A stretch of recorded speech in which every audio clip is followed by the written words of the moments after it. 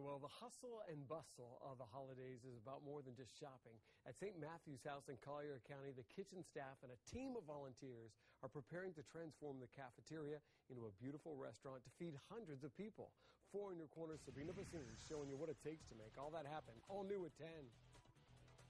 Well, the hustle and bustle of the holidays is way more than just shopping. At St. Matthew's House, the kitchen staff and a team of volunteers have been working since Monday to transform the cafeteria into a restaurant, making sure that everyone gets a Christmas meal. Chopping, stirring, and sizzling. Come Christmas morning, 600 people will be able to feast. So we start with our salad.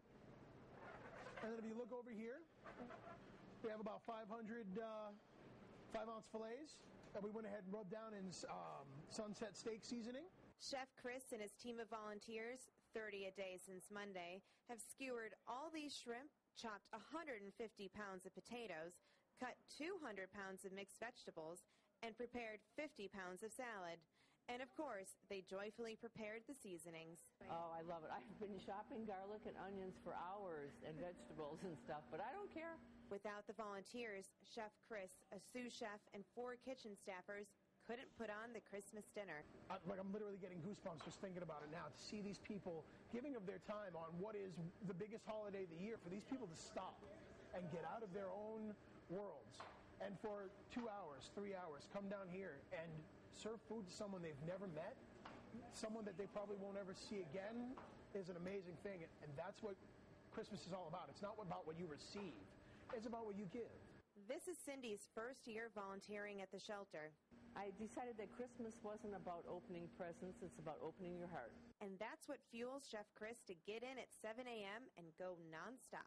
Because when I get here, I'm energized, I'm encouraged. I get to cook for people who, who the, the amount of thank yous that I get when people have eaten my food and walk out that door is worth it. People like the Scari family, homeless for the first time during the holidays. It's amazing, especially for the kids, you know, because we knew it was going to be tough this year trying to get them presents and everything. And from the parents to the kids, they want to share a message to the community that is making it happen. Thank you for donating everything that you donate here because I think it's really helpful.